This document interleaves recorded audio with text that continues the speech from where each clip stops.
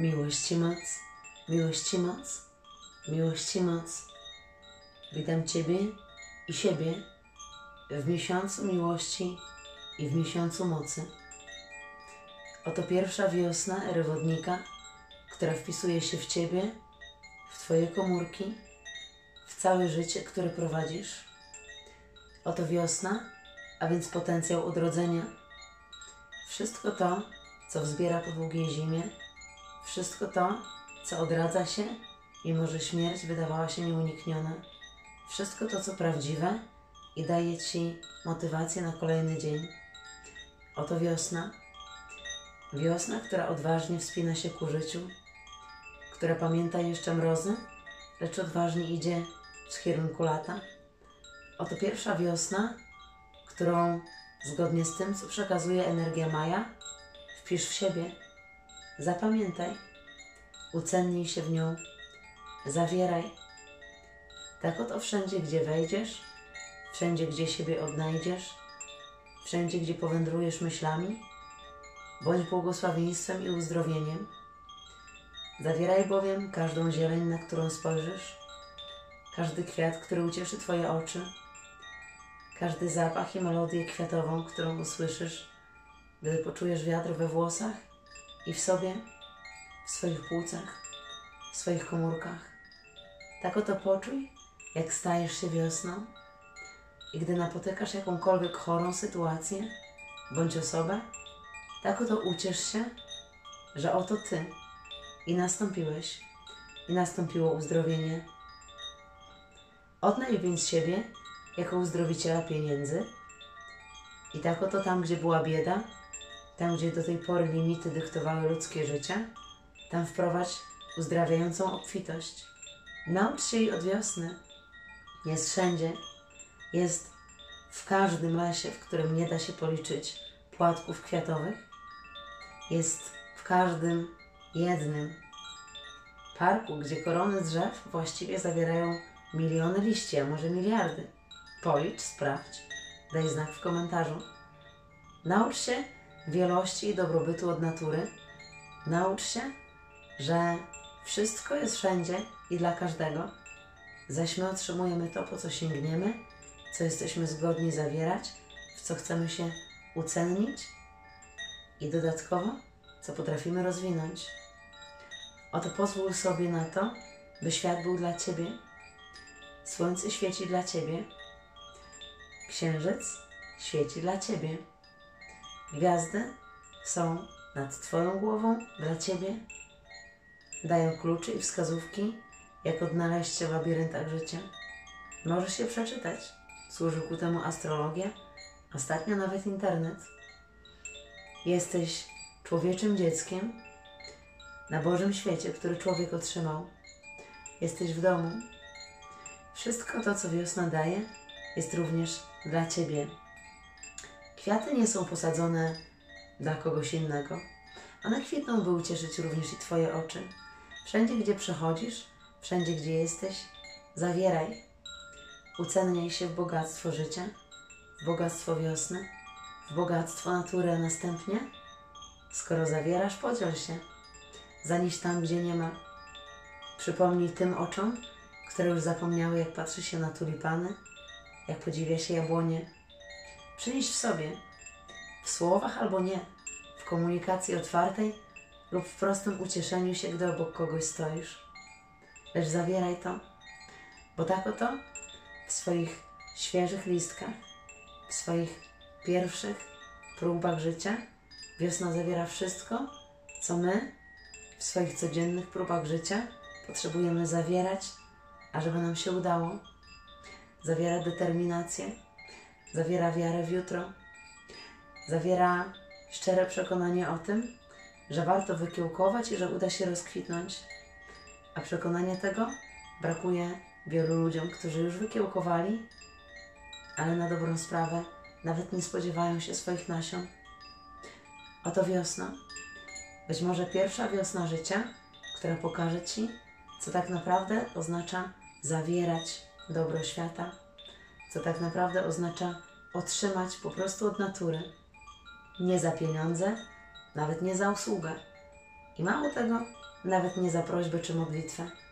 Otrzymać dlatego, bo jest. A następnie możesz ucieszyć się, możesz poprosić o więcej, możesz wysłać tym, którzy nie mają. Lecz pamiętaj o tym, że gdy zbierzesz w siebie wszystkie czerwone płatki kwiatów, być może pewnego dnia wmodlisz je swoją czystą, wolną wolą i swoją wiarą w czyjeś żyły i wystartujesz czyjeś życie od nowa, nawet jeżeli ktoś był zniszczony do zera i tylko jedna komórka krwi wołała o więcej. Być może pewnego dnia, gdy zapamiętasz wszystkie białe kwiaty, przywrócisz oddech i wiarę w jasne, białe, czyste chmury, w dobro życia i w szczęście komuś, kto go utracił. Pamiętaj o tym, że zawieranie w sobie tego, co zawiera natura, to zawieranie tego, co zawiera życie. To tędy pracują uzdrowienia, gdy przekazują je ludzie. Gdyby tak rozmazać pod mikroskopem każdą energię, którą człowiek z serca do serca przekazuje, gdy chcesz komuś pomóc i współuczynić czyją rzeczywistość piękniejszą, tak oto potrafisz wysyłać zachód słońca, potrafisz wysyłać wspólny uśmiech, potrafisz wysyłać ulubione wspólne momenty, a nawet niebieski kolor, jeżeli jest potrzebny. I czy wiesz o tym, czy nie? Tak oto, gdy komuś sprzyjasz, gdy kogoś swoją własną mocą i swoim własnym życiem unosisz ku górze, by jemu czy jej również się udało, tak oto czynisz tą świętą rekombinację. Pozwalasz, pomagasz światu ewoluować, bo tu nie o pozwolenie chodzi. O tym świat jest. Więc naucz się od tego Maja, który wokół Ciebie, jak się to robi, jak robi to trawa na Twoim trawniku, jak robią to drzewa, które całą zimę milczały i zdawały się być totalnie martwe. Zobacz, jak obudziły się ptaki, a przecież w grudniu o świcie ich nie słyszałeś. Nie wyglądają, jakby urodziły się wczoraj. A jednak, i tak oto jak wszystko dochodzi do głosu w maju, tak do głosu dochodzi Twoje przeznaczenie. Do głosu dochodzą Twoje potrzeby, Twoje instynkty, Twoje zranienia. Wszystko to, co wymaga tej uzdrowicielskiej wiosny, może dać o sobie znak, może o sobie nagłos powiedzieć, by wszystkie drzewa swoją zielenią i swoją witalnością zwróciły się z jeszcze większą mocą ku Tobie.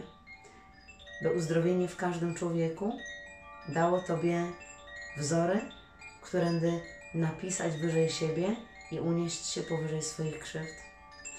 Oto Ty, osoba, człowiek, a być może istota anielska w postaci człowieczej, który słyszysz to, a więc niesiesz uzdrowienie.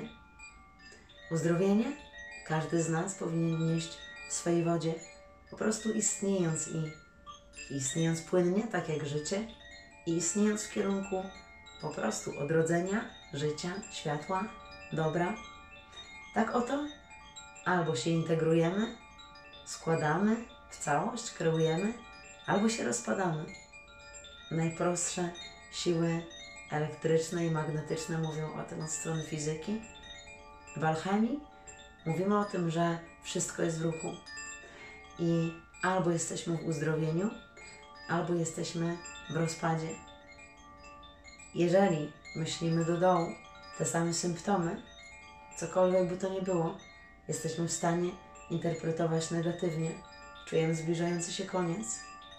Jeżeli jesteśmy w wpływie ku rzeczywistości pięknej, pełnej życia, takiej, która uczyni dobro, takiej, która wprowadzi sztukę, wówczas te same symptomy możemy śmiało uznać i dokładnie tędy podąży nasza rzeczywistość za oczyszczanie się ciała, za wejście na nowy level, za pozbywanie się jak starych przetworów metabolicznych, tego, czego już właściwie nie potrzebujemy nieść, bo jako ludzie mamy w tej przestrzeni na Ziemi jeden czas. W związku z tym wszystko to, co nie powinno wypełniać tego czasu, a co go wypełnia, odbiera go na to, co ten czas powinien właściwie otrzymać, ponieważ Od czasu, gdy już jesteśmy na ziemi, zostaliśmy tu urodzeni, nasz czas jest oddany nam samym na wypełnienie naszego przeznaczenia. I jeżeli wydajemy ten czas na cokolwiek innego, to właściwie może nam go zabraknąć na spełnienie siebie. Dlatego nauczmy się od tego maja. Spójrzmy na to, jak każda roślina całą głośnością swojej natury, całym swoim pięknem, całą swoją magią, całą swoją potrzebą życia rozkwita, staje się, wychodzi w rzeczywistość. Oto Twoje zadanie domowe, nie tylko na dzisiaj, a całożyciowe. Skup się na jednej roślinie, na jednym drzewie. Wybierz sobie swój obiekt do obserwacji, a właściwie nie tylko do obserwacji, do aktywnego zrekombinowania się, połączenia się, nauczenia się wzajemnie. Wybierz sobie nawet w parku czy w lesie roślinę, od której nauczysz swoje opuszki palców delikatności, od których właściwie listków nauczysz się dostrzegania detali, od której zieleni otrzymasz wsparcie dla każdego uzdrawiającego i właściwie samoleczącego się procesu w Twoim organizmie. Otrzymaj, a następnie daj. I tak oto pojawia się pytanie, co człowiek może dać roślinie. Piękne życie, modlitwę, ochronę, może skorzystać z niej jak z telefonu do Matki Ziemi, może poprosić świat o cokolwiek, może dać tej roślinie własny zachwyt, własną uwagę, własne piękno, a w suchy dzień nawet po prostu wodę. Może oczyścić las, w którym ta roślina się znajduje. Wedle Twojej własnej potrzeby i Twojego własnego odkrycia może przysłużyć się roślinie, może dać jej wsparcie również i ze swojej strony. Być może namalować ją, być może nauczyć się o niej. Inaczej spędzić czas w tej roślinie. Tak oto, czy z jedną rośliną, czy z całym majem świata, Ty połącz swoje DNA, połącz siebie. Pozwól sobie odrodzić się ze zgliszczy, które z całą pewnością w zakresach swojego życia gdzieś tam niesiesz. Ten świat oczyszcza się do pełnej, prawdziwej formy. Ludzie dokonują wyborów. Świat rozpada się na gęstości i jedna z nich, systemowa, gęstość niewolników, gęstość nie tyle organiczna i biologiczna, co biotechniczna i biotechnologiczna już w tej chwili. Ta gęstość służy do utrzymania jeszcze złudzenia starego świata, tej administracji, tego systemu, tego wszystkiego, co jako wypracowane przez poprzednie czasy, poprzednie ery, poprzednie władze służy potomkom tych władz. Zaś prawdziwy świat, świat ludzi, który nie dał się zniszczyć i świat ludzi, którzy obronili siebie, swoje życie, nie stali się częścią eksperymentu medycznego. Świat ludzi, którzy pozwolili sobie na wolne istnienie w przestrzeni, w której panowie niewolników chodzą i pokrzykują i straszą wszystkich. Lecz ci ludzie poczuli, że to nie ich panowie, że ci oni, którzy z każdego miejsca reklamują swoje śmiercionośne produkty, w żaden sposób ich nie dotyczą.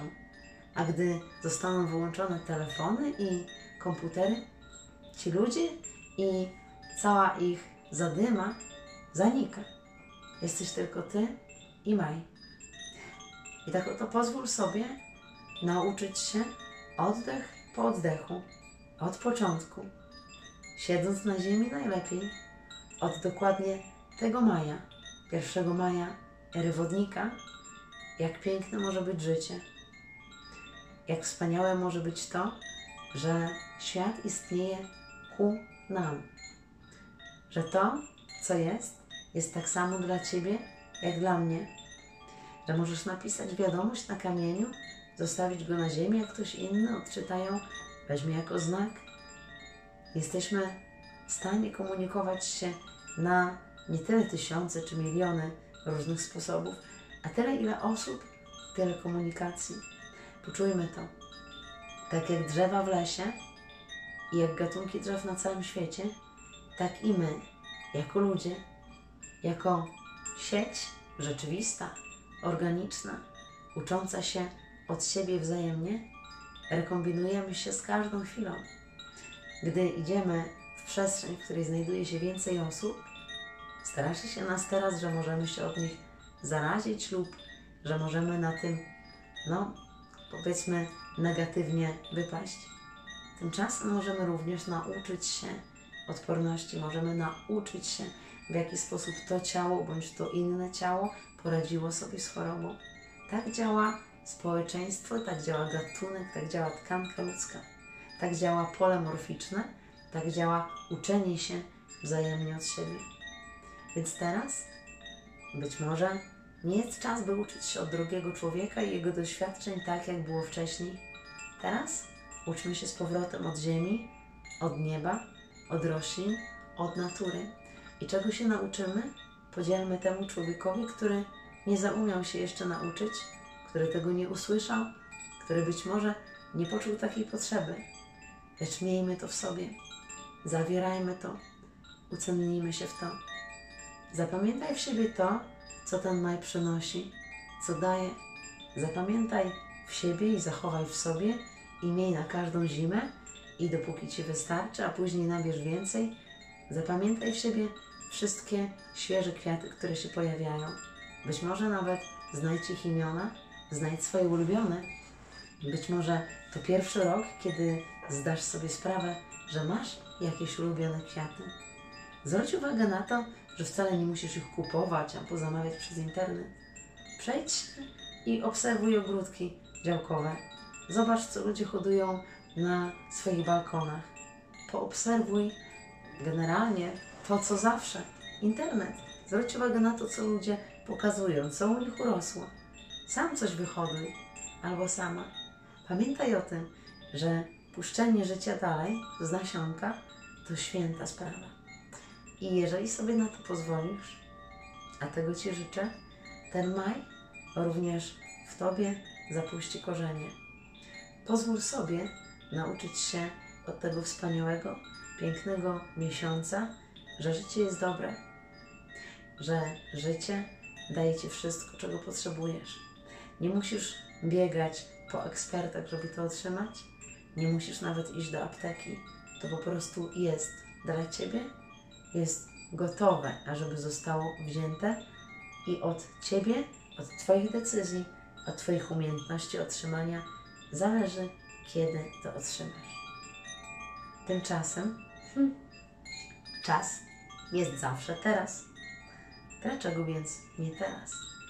Pamiętaj o tym, że majowe powietrze potrafi oczyścić, przenosi w sobie dużo informacji, przenosi w sobie bardzo wiele w tej chwili, również i modlitw, dobrych słów, energii, która jest w świecie właściwie najbardziej potrzebna, bo świat, jako tkanka, zareagował swoją prawdą na całą iluzję, którą się w niego i w ludzi teraz wpuszcza. Świat dochodzi do tego, do czego od zawsze chcieliśmy, żeby doszedł. Po prostu do oczyszczenia, do swojej formy, w której wszystko jest najlepsze, jakie może być, a my, jako aktywni kreatorzy nowego świata, nie lalki, które dały się wyłączyć strzykawką, tylko aktywni kreatorzy nowego świata, my jesteśmy osobami, które dały sobie prawo i żyją tym prawem do tego, by ten świat zmienić. Oczywiście w kierunku dobra, oczywiście wedle tych kluczy i wskazówek, które mamy w sercu. Pamiętajcie o tym, że gdy zadajecie pytanie wszechświatowi, należy być gotowym, by żyć odpowiedzią. Gdy zadajecie pytanie dlaczego i najczęściej zadajecie je w emocji trudnej albo w ciężkim uczuciu, tak wówczas na takim rezonansie otrzymujecie odpowiedź. Gdy zaś zapytacie Boga, dlaczego to jest najlepsze, co mogło się zdarzyć, otrzymujecie odpowiedź i dostajecie ją w swoje życie. Następnie możecie po prostu emanować nią i być szczęśliwym, że tak oto żyjecie świetlistym rozwiązaniem. Pamiętajcie, że każdy z nas zawiera coś, co warto uleczyć. Nie tylko w nas samych, choć oczywiście od tego zaczynamy, ale w świecie, tam gdzie docieramy. Nie musimy chodzić z megafonami i tego ogłaszać. Absolutnie nie. Wystarczy, że znajdziemy się w środowisku, gdzie ktoś potrzebuje takiej samej rekombinacji, takiego samego rodzaju ratunku. I przez samo przebywanie nauczy się, że jest wyjście z sytuacji, w której jest, w sytuację lepszą, w sytuacji, w której Tobie udało się być w tej chwili, i w sytuacji, w której się wspinasz, i w której udaje Ci się, i to nie jest kwestia udawania się, a kwestia tego, że umiejętnie prowadzisz swoje życie coraz wyżej. Pamiętaj o tym, że bardzo silni ludzie i bardzo silne istoty wzięły na siebie najtrudniejsze lekcje ludzkości i Ziemi, by je rozwiązać. Jak hakerzy rzeczywistości. Po prostu o tym to jest. Wzięliśmy te kody, na których ludzkość się wykłada, i teraz, drodzy Państwo, należy otrzymać od Maja, od natury, od pięknego świata wszystko to, co ten świat daje, żebyśmy mieli siłę na to, by swoją mocą podążyć za miłością, którą mamy w sercu. Kochani, wypełnijmy się tym majem, chrońmy siebie, chrońmy swoich bliskich, wysyłajmy uzdrowienie, nauczmy wszystkich tego. Nauczmy, że nie musisz kupować danych kwiatów, by je mieć. Nie musisz kupować minerałów, by je mieć. Wystarczy, że pójdziesz tam, gdzie one są i zrekombinujesz się z nimi, dotkniesz ich, poczujesz je, obecność w obecność, mutualnie, wspólnie, wzajemnie. Pamiętaj o tym, że to, że człowiek gromadzi wokół siebie, próbuje się otaczać przedmiotami, to, że czuje ich limit, wynika z poprzedniego paradygmatu myślenia i generalnie dawało ludziom bezpieczeństwo otaczanie się materią. Następnie świat nieco przekręcił i przedawkował ten model. Pewnym momencie wiele ludzi doszło do tego, że już nie chce nic posiadać, chcą tylko posiadać święty spokój, a dziś jesteśmy w punkcie, w którym otrzymujemy na powrót prawdziwe wartości. Dlatego odetchnijcie majem, dajcie sobie wsparcie, niech każdy jest swoim najlepszym przyjacielem. Poznajcie, co w Waszym sercu, jakim nasionem Boga jesteście dokładnie Wy, a dokładnie Ty, o czym Twoje nasiona, Twoje owoce, po owocach ich poznacie. Nasza ulubiona ogrodnicza metafora.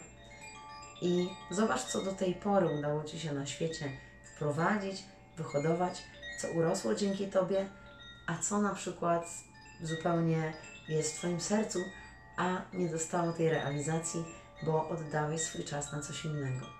Oto moment, by to w sobie przywołać, rozpoznać i wejść z całą pomocą świata, z całą pomocą natury na właściwą ścieżkę.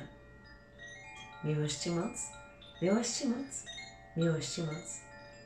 Niech siła Archanioła Ariela, tego, który prowadzi odwagę, tego, który budzi nasiona ku życiu i tego, który budzi Ciebie, poprowadzi Ciebie.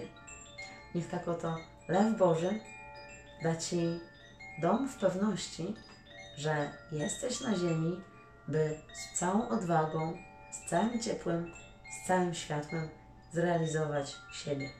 I wszystkie przeszkody, które do tej pory odbierały Ci fokus, które odbierały Ci siły, które nie pozwalały Ci być we właściwej kondycji, znikają w tym momencie, w którym pozwalasz sobie z całą potęgą siebie zrealizować całą miłość siebie. Bo to jest właśnie przeznaczenie. Źródłem Boga jest miłość uniwersalna. To jest przyczyna Boga. Gdyby ktoś zapytał, najczęściej dzieci pytają o takie rzeczy, co Bóg ma wpisane w duszy, to tam byłaby czysta miłość. Dlatego, gdy ktoś mówi o bojaźni Bożej lub każe się bać Boga, jest to coś najbardziej zaprzeczającego naukom Jezusa, co może istnieć. Bo tak oto strach przed Bogiem to strach przed miłością. Dlatego Maj wzywa, by temu zaprzestać, by otworzyć się na miłość, by pozwolić sobie, by wiedzieć, że Bóg jest dobry, jest potężny, jest we wszystkim, jest najpotężniejszy na świecie, najważniejszy i wszystkie, wszystkie najpierwsze cechy szczęścia, boskości, wielkości i wszystkiego, co nosimy w sobie ze szczęściem i szlachetnością, mają dom w Bogu. Tak jak Ty i tak jak ja. Na ziemi przyszliśmy stworzyć ten boski dom w materii, z energii, którą jesteśmy. I mamy prawo rozkwitnąć pełnią siebie, tak jak rozkwita maj. Dlatego też, kochani, pozwólmy sobie na to. Gdy pozwolimy sobie na to, zauważymy, że wszystko inne było próbą niskich energii, ubranych w różne osoby, w różne sytuacje, ale niskich energii na powstrzymanie nas przed realizacją naszego przeznaczenia. A przeznaczenie to to, czego życzy nam Bóg. Dlatego też, kochani, ja życzę każdemu spełnienia przeznaczenia. Życzę Tobie, byś był, jesteś i będziesz tym nasionem Boga na ziemi, któremu się udało. Miłości moc, miłości moc, miłości moc. Tak oto zapamiętajcie w siebie każdą zieleń, w każdym jednym odcieniu. Miejcie ją, zanieście tam, gdzie idziecie. Otwórzcie wszędzie swoim głosem drzwi Bogu. Gdy widzicie niesprawiedliwość albo zło, nie po to widzicie, żeby tymi oczami płakać, a po to, żeby zobaczyć, żeby podjąć decyzję, jak sformułujecie swoim głosem słowa, by Bogu otworzyć drzwi do tej sytuacji, by siła anielska wpłynęła i raz na zawsze zmyła to z ziemi i zabrała. Dzięki temu i przez to, że zobaczyliście to i z tą wiedzą mogliście tego dokonać. Bądźcie więc również aktywni i wszędzie tam, gdzie idziecie, możecie dotknąć i swoim dotykiem przekazać to, co tą ręką bądź drugą zebraliście z natury, czego nauczyliście się dotykając drzewa, które dało Wam mocność, bądź roślin, które dały każda swoją magię. Dlatego pamiętajcie, by zawierać, by dzielić się, by być w aktywności i by swoim słowem formułować prawdy, kierunki dla energii, bo być może ugęściłeś się na ziemię i masz fizyczne ciało tylko po to, by powiedzieć to, co ma zostać zrobione, uczynione i zmienione. Być może wszystko to, czego doznałeś, a co uczyniło Ci krzywdę, było po to, byś mógł swoim głosem powiedzieć, bo Bóg zabrał to z ziemi, a nikt wcześniej, kto tego doświadczył, nie powiedział. Tak oto działaj, bo po to masz głos i po to masz pismo i po to możesz napisać, podpisać się i odczytać, by zostało dokonane. Oto Twoje przebudzenie. Abracadabra. Dokonało się. Tak oto manifestuj dobro tam, gdzie go brakuje i wchodź od razu z tarczą światła wszędzie tam, gdzie idziesz. Emanuj. Dawaj, a otrzymasz. I tak dobre jak dane, tak dobre otrzymasz. Bądź więc błogosławieństwem dla siebie samego i dla świata. W imieniu wszystkiego, co miłością i mocą we mnie, błogosławię Tobie i wspieram Twoją miłość i moc, miłość i moc, miłość i moc. Niech rozkwitnie w tym świecie najpiękniej i niech jesteś wodą, w której płynie wszystko, co najszczęśliwsze i zgodne z Bogiem. I tak oto usłysz tę wodę pomiędzy ogiem przeszłym i przyszłym. I niech melodia tej wody da Tobie czas, czyli wodę, na to, byś mógł uczynić swoje błogosławieństwo ku światu, ku mnie, ku wodzie świata.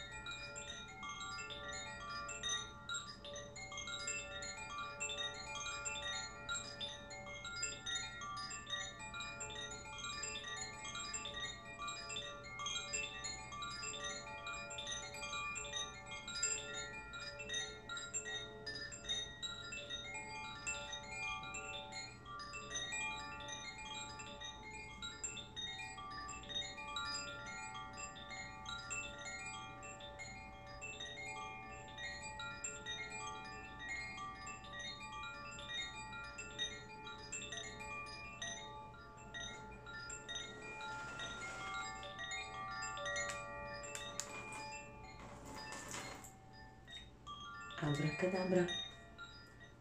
Dokonane. Tylko to uciesz się, bo to, czego życzysz światu, właśnie otrzymało swój wpływ i wystartowała jej rzeka czasu o tym. I tak oto wystartuj rzeki czasu o tych uzdrowieniach, o tych zmianach i o tych rozwiązaniach, których dzisiaj nie ma. Oto Ty. Masz głos, masz możliwość, masz wolną wolę. Bądź zmianą w świecie, której dziś brakuje. Powodzenia. Jesteśmy super bohaterami Boga. Czas, by to zrozumieć. Miłość i moc, miłość i moc, miłość i moc. Szczęśliwego, pełnego miłości Maja.